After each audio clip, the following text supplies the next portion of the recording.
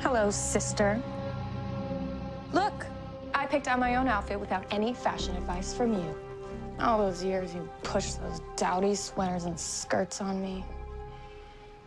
Trying to cloak my beauty so I don't outshine yours.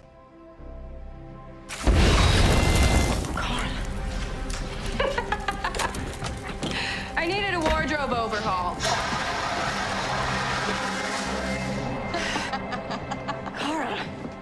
This isn't you. I'm more me than I've ever been. Please, listen. You were exposed to red kryptonite. It's, it's altered your brain. It's, you're not seeing clearly. Oh, I see clearly.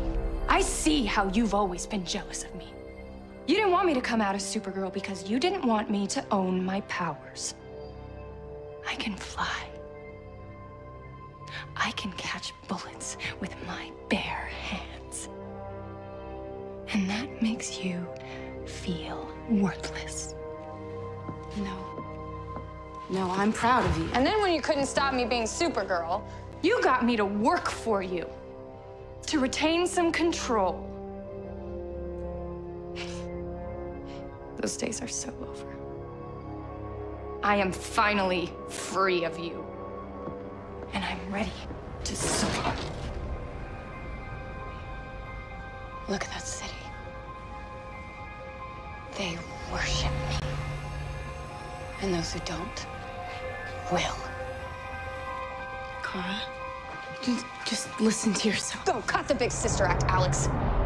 We have never been sisters. We don't share blood. And you know what the sad truth is? Without me, you have no life.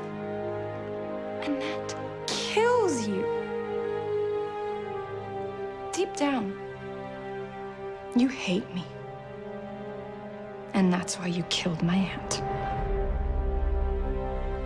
Oh, did I make you cry? You know what they say. The truth hurts.